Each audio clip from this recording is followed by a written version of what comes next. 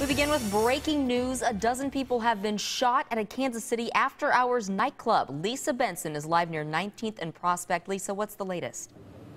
Well, I just talked to a cab driver who was working last night and he saw the melee, he saw the gunfire. He believes that some of the shots came from a moving car. You can take a look behind me and see that the scene is still roped off. Police are still investigating. An early morning shooting at a nightclub near 20th and Prospect sends sent police into action and hundreds of people running for their lives. A patrol officer in the area heard multiple shots and responded to the area.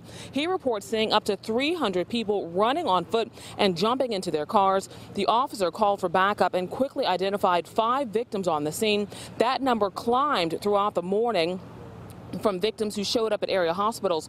We know at least three of those victims are in critical condition this morning. Police are still working on a motive and suspect information. We don't right now have a good story. Uh, we're still getting all that information. We don't have any suspect information at this time. Uh, we don't have a good story on what exactly occurred. Um, that's being investigated, obviously. Now back here live, you can see there are still several cars now trapped in the crime scene because police are still piecing together what happened overnight. But again, we talked to an eyewitness who said he saw several cars in the area and some of those shots were coming from those cars and you will hear from him in the next half hour. Reporting live, Lisa Benson, 41 Action News.